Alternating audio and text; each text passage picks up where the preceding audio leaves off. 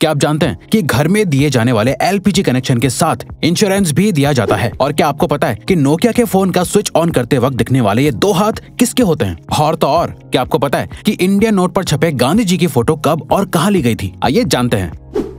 Gas cylinder तो आपके घर में हो गई, लेकिन क्या आपको गैस सिलेंडर से जुड़ी एक खास बात पता है? दोस्तों, हर एलपीजी सिलेंडर के कनेक्शन के साथ इंश्योरेंस भी मिलता है। जी हाँ ये बिल्कुल सच है। इस इंश्योरेंस के बदले में किसी भी तरह की दुर्घटना के केस में आपको मुआवजा मिलता है। जैसे, हादसे के दौरान हुई मौत के लिए छह लाख रुपए तक मुआवजा मिलता है। मेडिकल एक्सपेंसेस के लिए तीस लाख तक का मुआवजा मिलता है। प्रॉपर्टी डैमेजेस के लिए दो लाख तक का मुआवजा भी अवेलेबल है। और तो और इमीडिएट रिलीफ के लिए पच्चीस हज़ार पर पर्सन मुआवजा भी दिया जाता है। और ये फैसिलिटी पाइप्ड एलपीजी वाले कनेक्शन के लिए भी अवेलेबल है।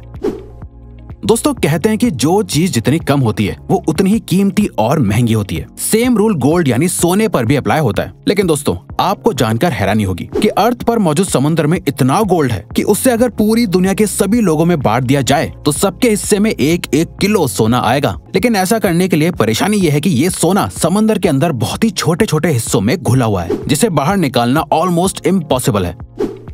इंडिया की करेंसी पर महात्मा गांधी जी का फ़ोटो लगा हुआ होता है। लेकिन क्या आपने कभी सोचा है कि गांधी जी की ये फ़ोटो आखिर कब और कहाँ ली गई होगी? दरअसल दोस्तों इंडियन करेंसी पर मौजूद गांधी जी की फ़ोटो 1946 में इंडिया के राष्ट्रपति भवन के बाहर ली गई थी, जो उस वक्त वायस रॉय का घर हुआ करता था।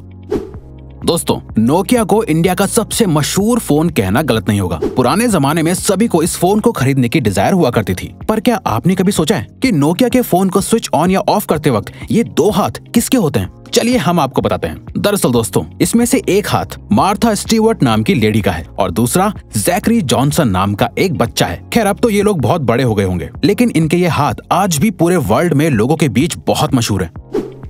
दोस्तों, ये तो आपने बचपन से ही सुना होगा कि हमें बीज नहीं खाने चाहिए, क्योंकि वो काफ़ी नुकसानदायक होते हैं। लेकिन हमारे बड़े होने के साथ हमें पता चलता है कि हर एक बीज को गलती से खा लेना नुकसानदायक नहीं होता। लेकिन दोस्तों, क्या आप जानते हैं कि एप्पल के बीज सच में बहुत ही जहरीले होते हैं? जी हाँ ये बिल्कुल सच है। दरअसल, एप्पल के बीज में साइनाइड होता है, जो एक किस्म का जहरीला केमिकल होता है, जो आपको बहुत नुकसान पहुँचा सकता है। लेकिन दोस्तों, क्योंकि ये बीज बहुत छोटे हैं, इसीलिए इसका जहर आपके शरीर में बहुत सारे बीज खाने के बाद ही फैलता है। अब इसका ये मतलब नहीं हुआ कि आप बीज को खा खा कर चेक करें।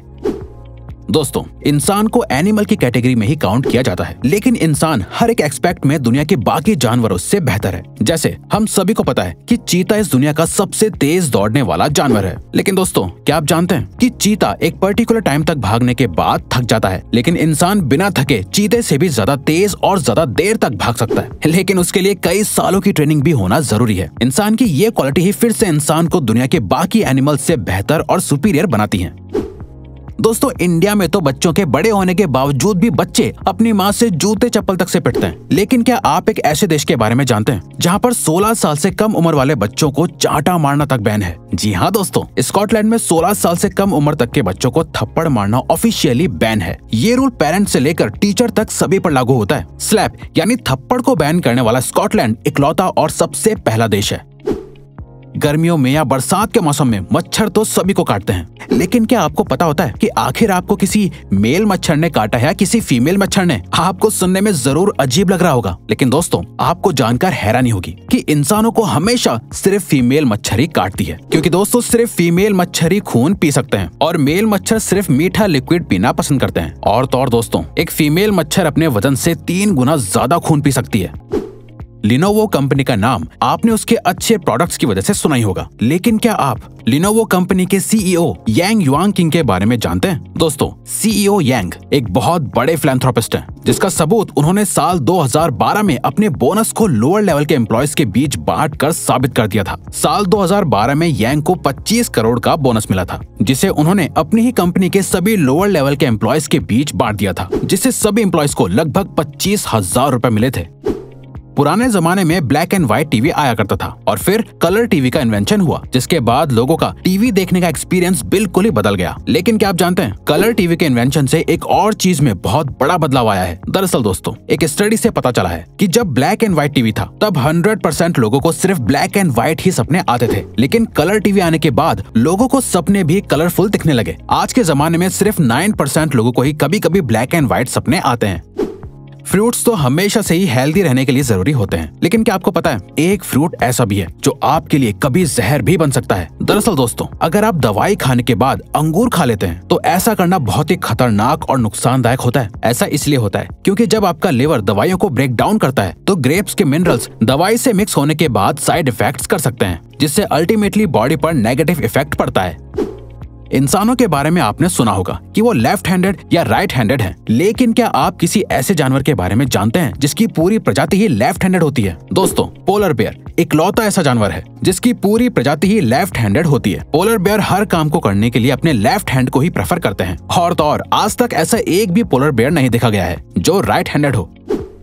आज के मॉडर्न जमाने में हर एक छोटी सी चीज़ का भी एडवर्टीजमेंट टीवी पर देखने को मिल जाता है। लेकिन क्या आपने कभी सोचा है कि एक्सपेंसिव स्पोर्ट्स कार का एडवर्टीजमेंट टीवी पर क्यों नहीं आता है? दरअसल दोस्तों, ऐसा इसलिए होता है क्योंकि एक्सपेंसिव स्पोर्ट्स कार को मैन्युफैक्चर करने वाली कंपनीज़ का मानना है कि जो भी लोग टीवी देखने में अपने वक्त को बर्बाद करते हैं, वो स्पोर्ट्स कार्स कभी नहीं खरीद सकते। इसीलिए टीवी पर एड देना उनके लिए एक बेकार की चीज़ है।